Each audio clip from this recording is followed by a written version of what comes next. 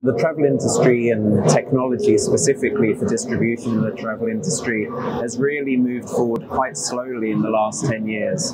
There's really very little that has come out in distribution technology, channel management, outside of the standard delivering of ARI reservations and content. And something that I think is quite exciting is the launch of RateGain Smart Tech um, Smart Distribution System, which basically looks at the future of distribution and is a real game changer because it allows people to start to contract from within the system, see demand that's coming in from other providers, other suppliers that are going into other hotels that you're not currently working with.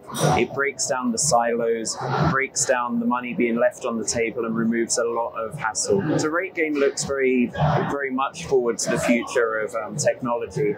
We're seeing ourselves as pioneers within that area at the moment. So within our normal core rate shopping business, we're working with Market Drone, which is looking at changes that are happening before they've actually even happened. With our channel management solution, we're actually now working with smart distribution that's looking at who are the channels that other people work with and you don't. How do you move that forward?